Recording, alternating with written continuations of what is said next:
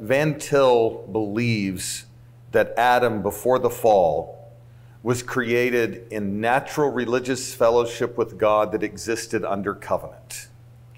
And that it is abnormal for a creature to reason without being dependent on God's special verbal revelation. Um, and that the fall, as a consequence of the fall, human nature is corrupted and entirely depraved. Mm-hmm.